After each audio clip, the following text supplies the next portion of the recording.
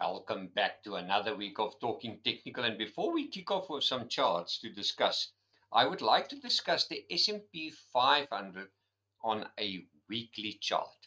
And a few weeks ago, we saw the great three candles that's calling three dark crows. There are they. And they usually come into one, two, three weeks in a row, red candles, and then usually you see a little bit of a bounce but the one rule of a three dark crow phenomenon is that that usually call for a trend change. But what happened?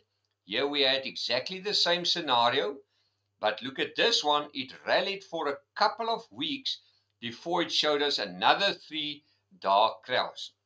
Now the golden rule is always if you see a three dark crow phenomenon, just use your top candle, the shadow there, and just draw in a line there. Now that line actually gives you the clue. Usually after a three dark crow phenomenon, you'll see a bounce. The guys will not take out the high and then the market will push lower and you'll probably see what they call a trend change. This is exactly what happened here. We had three dark crows. It bounced, but what is the difference? Right at the top, of this candle. Look at that. The market lost momentum right at the top and it printed us, can you believe it? It also printed us a hanging man. So this three dark crows was 100% correct. Three dark uh, red candles, another one, push up all the way to the top and the market could not push past that and that then triggered the selling of what we've seen last week. So it just shows you we can use any phenomenon, any formation, but just stick to the rule. So make it simple for you. I always say this upper shadow there, that tiny little upper shadow, there was one guy buying there and there was one guy selling there to make that tiny little shadow. So if the guy that buys can hold on and the market push up past that, it can easily take it higher. And, and in this case, somebody right at the top sold and somebody right at the top bought.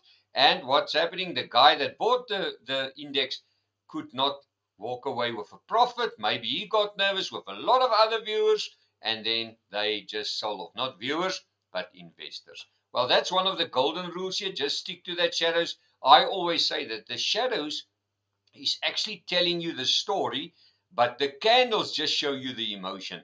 So if you look at this, it's nice strong trend but we must watch the S&P. If the S&P cannot breach this gap of 5669, we can easily see that we will see a trend change in the S&P 500 and we can maybe go much lower.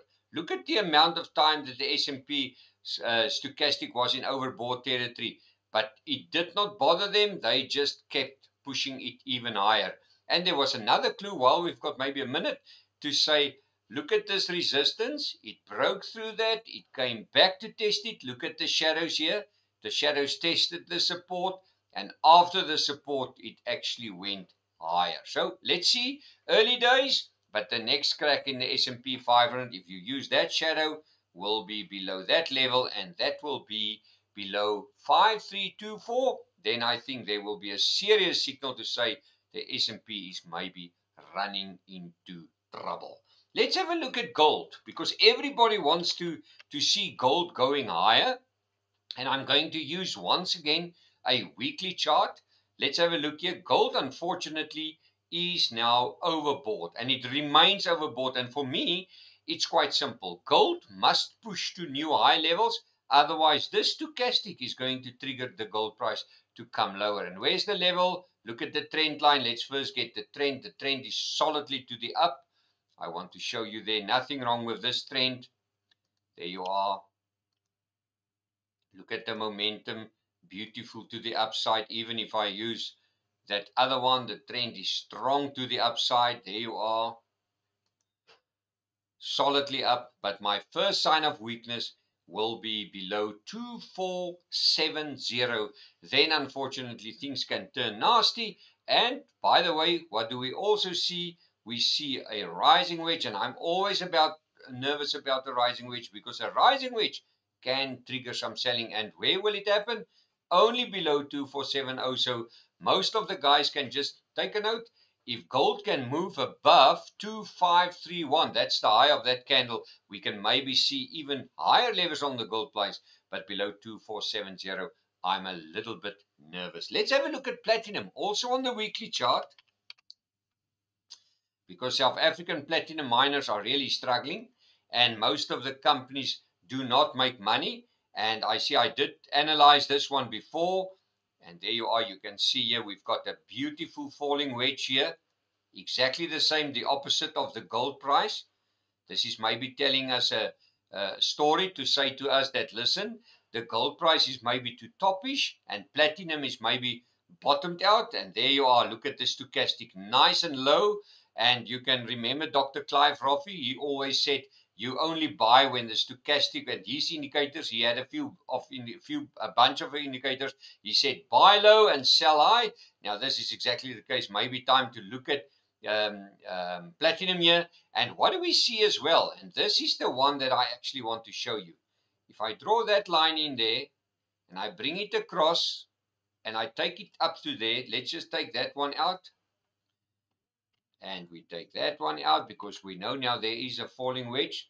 What do we see? We see an inverse head and shoulder, maybe in the making, in the platinum price. And there you are.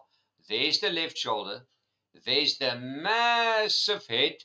And we're busy on the right shoulder. And now the, the market gives us a nice clue here. The low of this right shoulder at the moment is 902.42. So what can we say? If we get below 902.42, this head, inverse head and shoulder can maybe become um, obsolete. And there's the low as well. The previous low was also at 907. So a classic inverse head and shoulder. A left shoulder, a massive head, a right shoulder. Early days for the platinum price. But where will be the first sign of signal to say there's some strength happening here. And it's quite simple.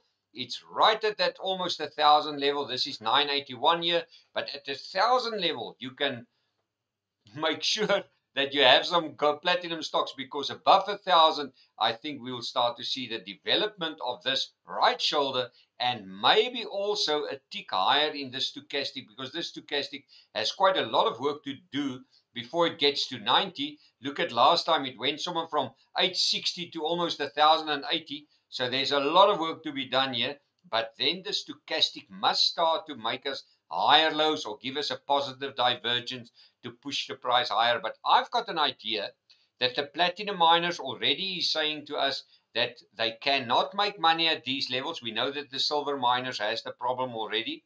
But the platinum miners, they are moaning they say we cannot supply you product at these levels. So maybe if this price starts to go to above a thousand, we maybe be surprised that some platinum counters will pick up.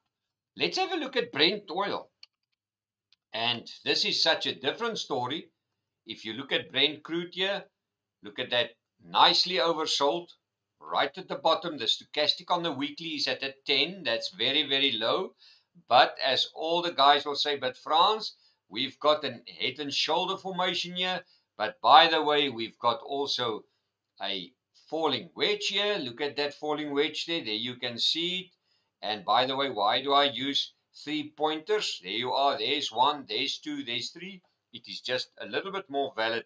And look at it. We are close to a level. Look at these sh lower shadows before at around 72 $70 below $70 it's a different story then we can go much lower but we're right at the bottom here of this falling wedge. The stochastic is right at the bottom there. And if the plant of the Brent oil price pick up, there's a lot of room for it to go up. Let's have a look here. I just want to check something here. Oh, they, they did not update this chart. is only running from about 2022. So it just shows you here that we're at a strong support. I'll be a very bit nervous to short uh, Brent oil at this point in time because I always believe if you want to short the instrument right at the top overbought levels, it's the best time to short it because if you short it here, what is your strategy? If it goes even lower and lower and lower and you say, okay, it's nice and then suddenly this oversold stochastic suddenly give you an ugly bounce and it mess you around. Well, let's have a look. We've got chance for one share. Sorry, I, I spend a lot of time maybe on training, but that's also good. But if you look at Sanlam here, right at the top, strong company. Um, there's almost what you call a lamp formation here. Let's have a look here. But uh, what I'm a little bit nervous. Uh, these guys are doing well. They've got loads of cash. Their business are growing, but maybe it's time for a little bit of a pullback. Look at this follow, after this rising wedge, but this will only warn below 80 rand and 90 cents. Well, as we will say in Afrikaans, fluit fluit, my story is uit. So we'll chat again and visit our website www.fransdeklerk.com for more info. And as always, you know that we've got the coffee shop now in the heart of Vosburg, the big city of Vosburg, in the middle of the Karoo. So pop in for a nice cup of coffee. We can chat some charts because my office is right at the middle of this beautiful coffee shop. Thank you and all the best, and we will chat again.